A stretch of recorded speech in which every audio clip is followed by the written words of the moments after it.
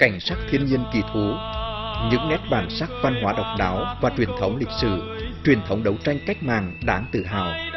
Khí chất của những ngư dân ăn sóng nói gió, chân chất mộc mạc nhưng mạnh mẽ và đầy bản lĩnh. Những làng quê chủ phú nhộn nhịp xuôi ngược những con tàu đầy khoang tôm cá. Tất cả đều được thể hiện trong bộ ký sự những làng biển Quảng Bình.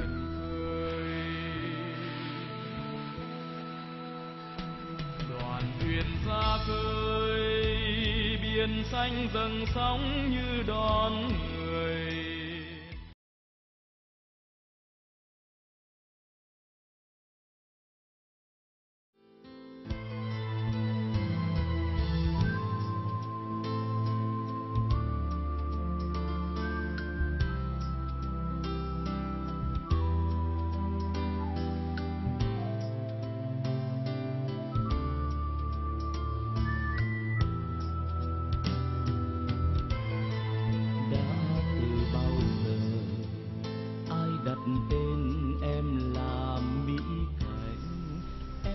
Bảo Ninh, vùng đất cát tuyệt đẹp nằm về phía đông và đông nam của thành phố Đồng Hới, bên dòng Nhật Lệ hiền hòa thơ mộng.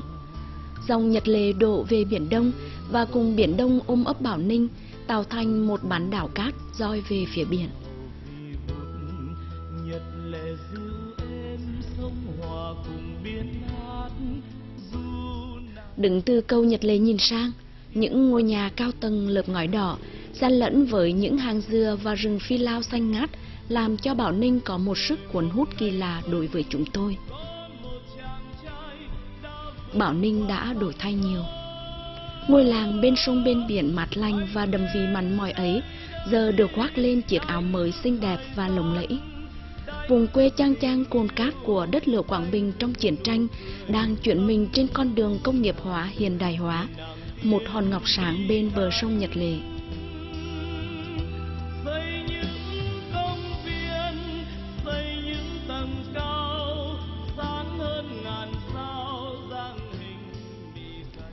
Người Bảo Ninh kể lại rằng, Bảo Ninh xưa chỉ là những đồng cát, trảng cát, lúp xúc những túp lều tranh của dân Vàn Chài. Cư dân Bảo Ninh xưa chỉ biết nghề chài lưới, vào lồng ra khơi trên những chiếc thuyền buồm, thuyền nan nhỏ bé, hay những bè tre bơi bằng chầm gỗ. Mặc dù sống trên mảnh đất được bao quanh bởi bốn bề sông nước, biển Bảo Ninh giàu sản vật, nhưng cuộc sống của người dân nơi đây vẫn đói nghèo và thiếu thốn quanh năm. Đành rằng nghề biển cũng lắm tuân chuyên, phải phụ thuộc nhiều vào thời tiết. Nhưng có lẽ cũng chính do phương tiện phục vụ nghề biển của họ còn quá thô sơ, lạc hậu, không thể chống chọi lại với những cơn cuồng phong của biển khơi, nên cuộc sống của người dân Bảo Ninh xưa gặp nhiều khó khăn, Âu cũng là lẽ đương nhiên. Nhưng dẫu khó khăn, người dân Bảo Ninh vẫn kiên trì bám biển, sát son với biển. Những năm tháng chống Mỹ cứu nước đã ghi lại dấu ấn của biết bao tổ hợp tác sản xuất, tổ đoàn kết trên biển giữa mưa bom bão đàn vẫn bám biển sản xuất và chiến đấu.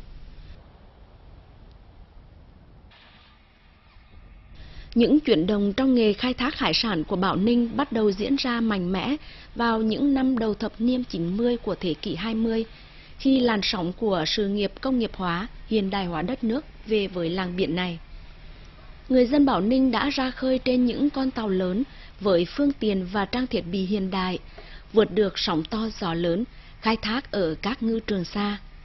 Không còn e ngại bởi thời tiết, người Bảo Ninh đi biển quanh năm. Họ đã hoàn toàn chấm dứt được cảnh 6 tháng làm ăn cả năm hay tháng 7 nước nhại lên bờ, buồm treo neo gác, ngồi chờ ăn vay. Hiện nay, Bảo Ninh là một trong những địa phương có số lượng tàu cá lớn nhất tỉnh Quảng Bình.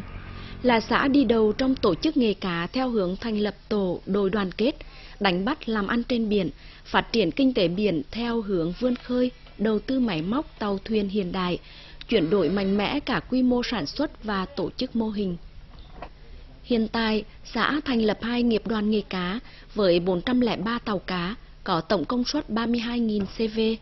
Trong đó có hơn 200 tàu cá có công suất lớn đánh bắt xa bờ đến tận vùng biển Hoàng Sa, Trường Sa, góp phần bảo vệ chủ quyền biển đảo của Tổ quốc.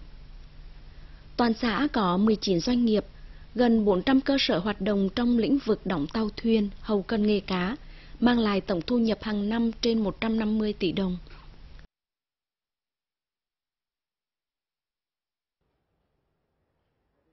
Ngôi nhà của ngư dân Nguyễn Đại Thắng nằm giữa làng Mỹ Cảnh, mặt hướng ra phía sông Nhật Lệ. Dù tuổi đời còn trẻ nhưng chúng tôi cảm nhận anh Thắng là một ngư dân lão luyện qua lời nói và phong thái của anh. Anh kể chuyện đánh cá ở vùng biển Hoàng Sa bằng chất dòng ôm ôm như nói trước ngọn sóng.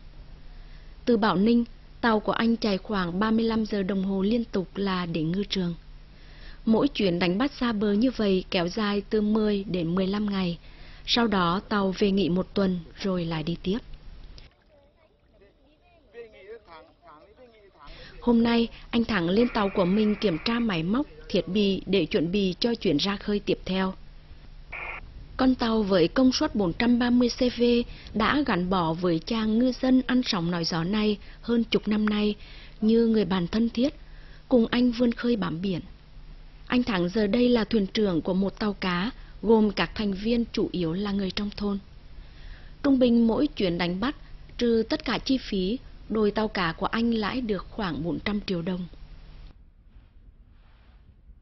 10 năm về trước á, thì à, khó khăn là những cái cái thông tin liên lạc những cái à, tàu bè những chưa à, hoàn thiện mấy là những à, những cái vất vả là vì do một là cái à, kinh cái kinh tế.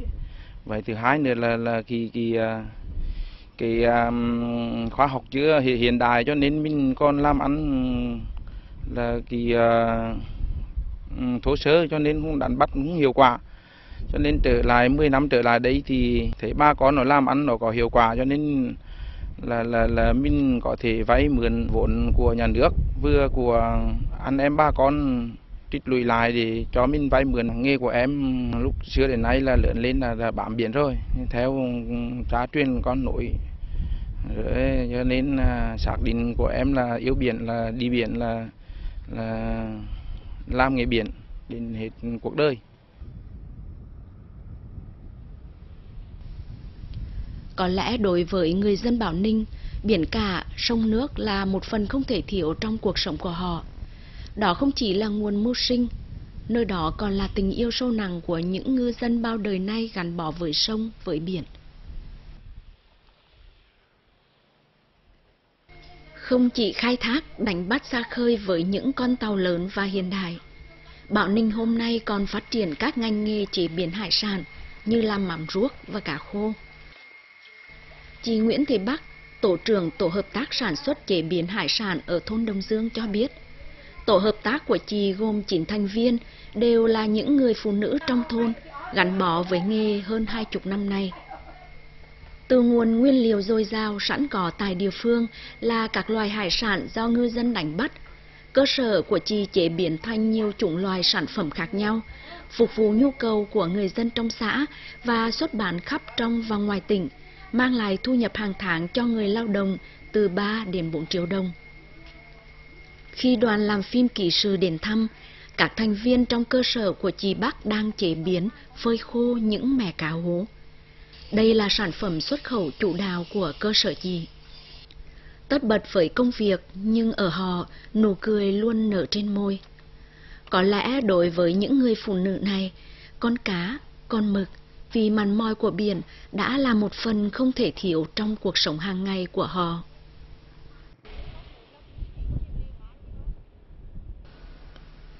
Bảo Ninh hôm nay dồi dào sức sống, trẻ trung và năng động. Một Bảo Ninh với những công trình mới, với nhà cửa khang trang, cuộc sống rộn ràng, tấp nập nhồn nhịp. Người làng biển có lẽ cũng rào rực lâng lâng với những đổi thay kỳ diệu trên quê hương mình. Vùng cát hoang sơ ngày nào đã trở thành một vùng đất giàu tiềm năng với những tuyển phố đông dân cư sầm uất. Cây cầu nối đôi bờ Nhật Lệ đưa không khí và nhịp sống thanh thị về với sóng với cát của vùng quê lâu nay được coi là ốc đảo. Con đường xinh đẹp, thanh thang, thoáng đãng, chạy dọc ven biển mang tên Đại tướng Võ Nguyên Giáp, vị tướng của nhân dân, là niềm khích lệ, đồng viên lớn lao đối với người làng biển trong công cuộc xây dựng và bảo vệ quê hương.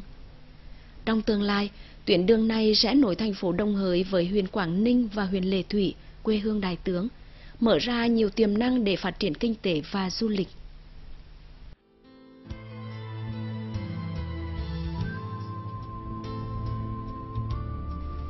ghé thăm khu du lịch nghỉ dưỡng Sun Spa Resort tại thôn Mỹ Cảnh. Chúng tôi như lạc vào chốn bồng lai tiên cảnh. Vùng cát khô cằn, hoang sơ, khắc nghiệt năm xưa, giờ đã trở thành một thiên đường du lịch, nghỉ dưỡng thu hút du khách thập phương. Anh Phạm Quý Sĩ, giám đốc giải trí và ẩm thực Sunspa Resort, công ty trách nhiệm hữu hạn một thành viên du lịch Trường Thịnh, dẫn chúng tôi đi tham quan một phòng khu nghỉ dưỡng và tự hào giới thiệu. Sun Spa Resort Mỹ Cảnh gồm khu nghỉ mát cao cấp và khu villa cao cấp đã được Tổng cục Du lịch công nhận đạt chuẩn 5 sao, có mặt biển và mặt sông dài nhất Việt Nam. Khu nghỉ mát có không gian thơ mộng, khung cảnh giao hòa giữa con người với thiên nhiên. Du khách vừa được tắm biển, vui chơi, thưởng thức các món ăn đặc sản vùng miền, vừa được cảm nhận vẻ đẹp của nắng vàng, cát trắng, biển xanh Tất cả tạo nên điểm nhấn cho một bức tranh toàn cảnh của Bảo Ninh đang từng ngày đổi mới.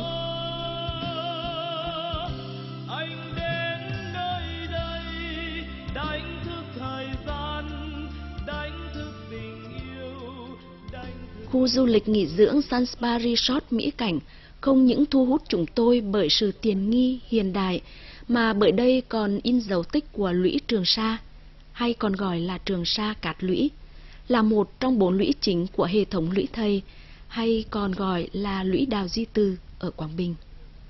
Theo đó, lũy thầy là tên gọi của cả hệ thống thành lũy phòng ngự từ thời chúa Nguyễn xây dựng lên để chống lại chúa Trình, giữ cửa Nhật Lệ và Đồng Hải.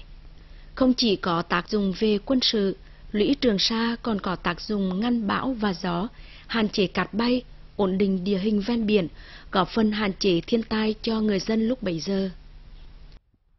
Tìm hiểu di tích có từ thế kỷ 17 này, chúng tôi cảm nhận được phần nào giá trị từ những công trình lịch sử mà cha ông để lại. Càng có ý nghĩa hơn khi những giá trị lịch sử ấy được gìn giữ, phát huy để song hành cùng với những đổi thay kỳ diệu của con người và mảnh đất nơi đây.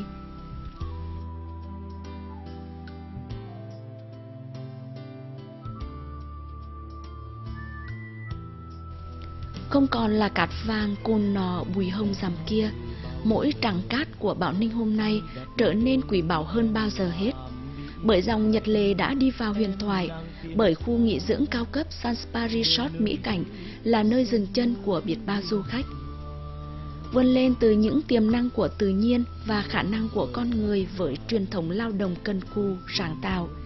Làng biển Bảo Ninh không còn là một làng biển nhỏ bé, khiêm nhường bên dòng Nhật Lệ, mà là một hòn non bồ lung linh huyền ảo, tạo dáng cho thành phố trẻ đồng hới đang vươn vai trỗi dậy mỗi ngày.